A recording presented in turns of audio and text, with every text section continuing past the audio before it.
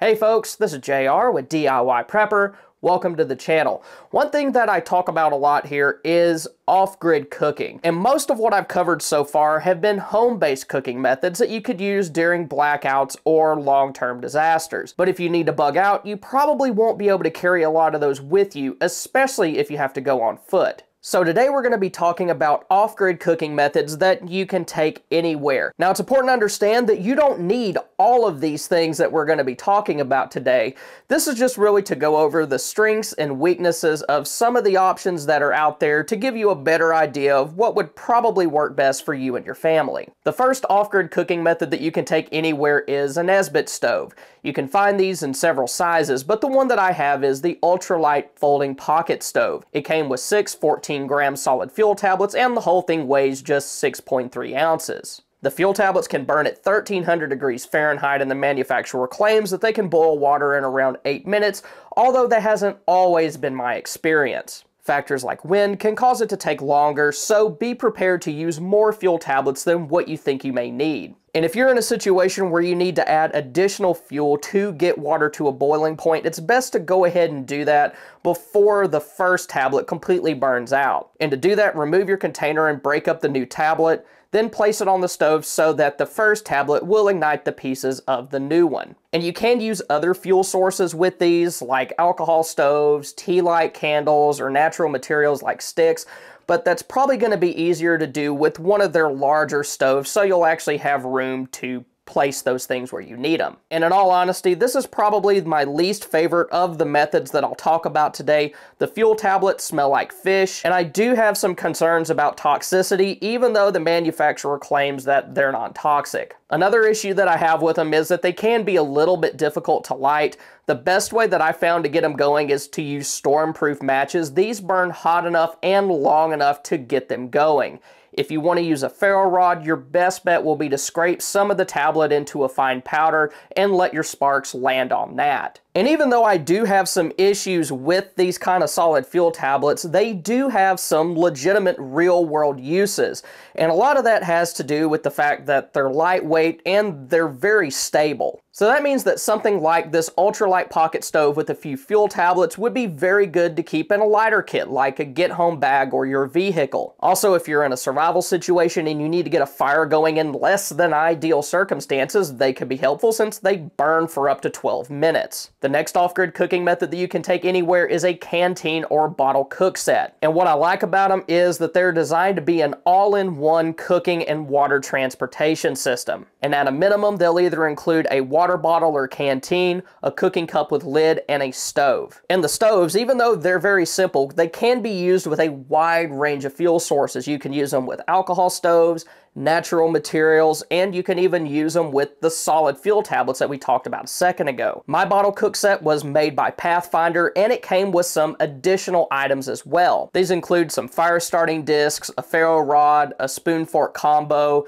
a fish mouth spreader for picking up the water bottle from a fire and also suspending the cup over one, and then also a bag to hold everything. And that entire kit weighs around two and a half pounds. Now my canteen cook set is just a hodgepodge of items that I've picked up from various places over the years. The canteen is an Nalgene Oasis, which is made of the same tough material as their other water bottles, but you won't be able to boil water inside of it because it is plastic. The cup is genuine US military issue, probably from the 70s or 80s, and the stove was ordered online within the past couple of years. But one thing I do need to add to it is a lid for that cup so that it can boil water a little faster. If you'd rather have a stainless steel canteen that you can boil water in directly, then you can pick up a canteen cook set from Pathfinder as well. And since it includes everything that I would need to cook and boil water, my bottle cook set is my first choice for what I keep in my bug out bag.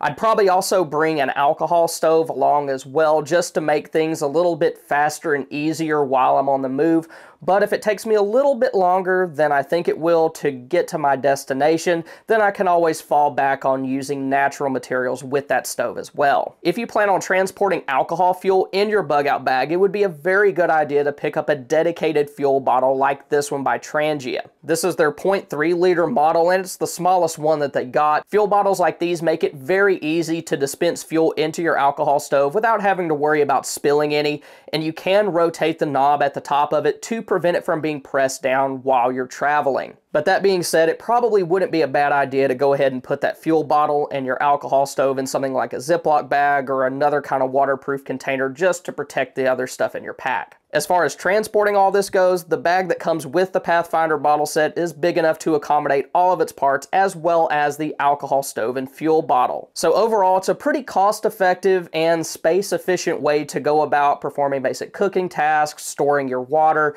and it also gives you some fuel redundancy as well. The next off-grid cooking method that you can take anywhere is the Solo Stove Lite. It's a gasifier stove, so it burns hot with very little smoke, and this is useful if you're trying to keep a low profile. The stove itself is a very simple design. It just has two parts, and it weighs around 9 ounces, but keep in mind that you're going to need to have cooking containers. You're also going to need something to store water in, so that's going to increase the overall weight of your kit. The light can use natural materials like sticks and pine cones, as well as an alcohol stove. And the carrying case that it comes with it does have have room for the entire stove along with an alcohol stove if you want to add one of those. But I would recommend that you pack those things in something like a bandana or a sock because if you don't, they can rattle quite a bit and make a lot of noise. Since it's so compact, it would do very good in something like a bug out bag and it would probably be my second choice behind my bottle cook set. The next off-grid cooking method that you can take anywhere is the Jetboil Flash. This is an excellent choice if your primary concern is just boiling water as fast as you can so you can keep moving. They also don't produce any smoke, but they can be a little bit noisy. Now, the sound that they produce may actually be offset by the fact that you're not going to have to be traipsing around the woods gathering up materials for a fire. And since it boils water so quickly, the stove might not actually run long enough to draw any attention to you. And the flash does boil water faster than literally anything else that I've ever used. The manufacturer claims that it can boil water in as little as 100 seconds, and that claim does line up with my experiences using it. It can produce up to 9,000 BTUs, and the flux ring at the bottom of the cups helps contain that heat, making the system very efficient. The cup and burner lock together to prevent the cup from tipping over, and that's a good thing because the water boils so violently that the cup would probably fall off without that feature. The flash does have a built-in igniter, but you could use a lighter or a ferro rod as a backup if that breaks down. Just be sure to keep your hands far away from that burner as you're igniting it manually. Now, one thing I don't like about it is that it does rely on fuel canisters and it doesn't have any backup fuel options, although the canisters themselves can last for a long time. One like this that has 230 grams of fuel can boil two cups of water 55 times although in real world use you're probably going to get less than that. If you want to use something else to cook with, like a pot, then you can get a pot adapter which just sets down on the burner. And while the burner on the Flash is adjustable, it's really not all that well suited for more delicate cooking operations. It's really designed more for preparing things like freeze-dried meals, boiling water to kill microorganisms, or heating it up for things like soups, coffee, or tea. If you want something similar to this that's more well suited to actual cooking, then the Jetboil MiniMo would be worth looking into. For storage, the whole kit nests together within the cooking cup and it weighs 13.1 ounces minus the fuel. Now, if you want the fuel can to nest inside of the cup, you're going to need to get the 100 gram fuel cans because the 230 gram, like what I have, is just too big to fit down inside. Because systems like this are basically just miniature gas stoves, most people are going to be able to figure them out pretty easily.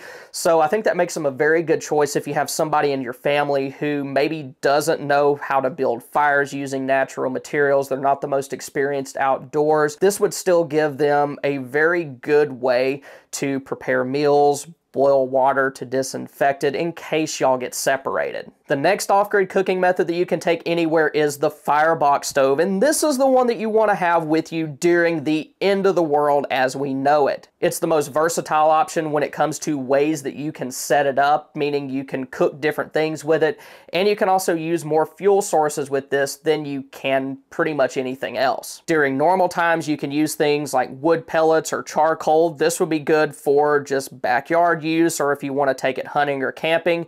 And the firebox stove can also be set up to use common backpacking and bushcrafting fuels like alcohol stoves and solid fuel tablets. Then of course you can use natural materials like sticks to get it going as well. The one that I have is the entire kit that comes with the Gen 2 firebox four fire sticks, an ash pan, a boil plate, an adjustable fire grate, the small and extended grill plates, and a carrying case. The entire thing weighs 2.7 pounds, but if you just want to get a more basic kit, then that weighs around 2. It feels a little heavier than what I expected it to, but the materials that it's made of are very heavy duty, so I think this is a pretty bomb-proof setup, provided you don't do something just completely stupid with it. Now, while some may opt for the more basic kit, just to keep things simple, the boil plate is very useful for supporting the sides of containers as you're boiling water, which is going to reduce the chances of them spilling. Even though I used it for this burger, the extended grill plate would be nice if you live near a body of water and might depend on fishing as a long-term food source. Other models like the Firebox Nano and the Firebox Titanium are much lighter than what I have, so they would probably be a better option if your purpose for this is just to use it in a bug out bag. But whichever model you choose, all of them are compact when folded up so they won't take up very much room in your pack. The main downside to the Firebox stove is that there is a learning curve to using it. Trying to figure out all the different configurations that you can use with it is going to take some time and then it will take some practice to master using it with natural materials. And if you're going to be depending on natural materials primarily with this, you do probably need to have a significant amount of fire starters in your kit as well. The next off-grid cooking method that you can take anywhere is the BioLite camp stove. This is a unique way to cook off-grid since it can also be used to charge cell phones and other small electronics. It uses natural materials like sticks as fuel, but it also runs very well on wood pellets. This would be more useful if you're using the stove at home or on a hunting or camping trip. BioLite does have their own pellets that you can pick up, but they're a little bit pricey. The Pit Boss pellets that I got locally seem to run well and were less than $10 for a 20 pound bag. So those should last a little while. The biggest downside of the BioLite is that it relies on an electronic device to operate. If that fan goes down, the stove won't be as effective since it can't circulate air on its own. Another big downside to the BioLite is that you really do need to purchase the additional accessories for it to get the most out of it. In my opinion, the kettle pot is an absolute must since it can be used to boil water and it rests right on top of the stove. This will allow you to cook things like noodles or heat up soups and freeze-dried meals, and the vents on the bottom of it are designed to keep flames away from the fan unit. The stove itself weighs just over two pounds and the kettle weighs around one, so that gives the overall kit a weight of around three pounds but it's still going to be a little bit more bulky than a lot of the other options that we've talked about, and that's an important consideration if you're going to be putting this in some sort of bag. Another accessory that you can get for the camp stove is a grill attachment that'll allow you to cook things like hot dogs and burgers, and in all honesty, you're probably not going to be taking that with you during an emergency, but it is a decent grill for individuals or small families. I know we'll probably be using it on a camping trip later on because it is kind of fun to use. It has a small lid on the front of it so that you can add fuel as needed without having to remove the entire grill top. Another slightly bulky but still portable option would be the Kelly Kettle Scout. I've reviewed the full-size Kelly Kettle Base Camp on the channel and a few other videos. These are just really high quality pieces of equipment. They're excellent for boiling water. You can get larger kits with them that you can do other things with like grill or cook eggs, stuff like that. But if you want to see more off-grid cooking methods that you can use, especially things that you can use more at home or once you reach your bug out retreat, if you have one of those, then be sure to check out these videos. Thank y'all for stopping by. Y'all have a good one.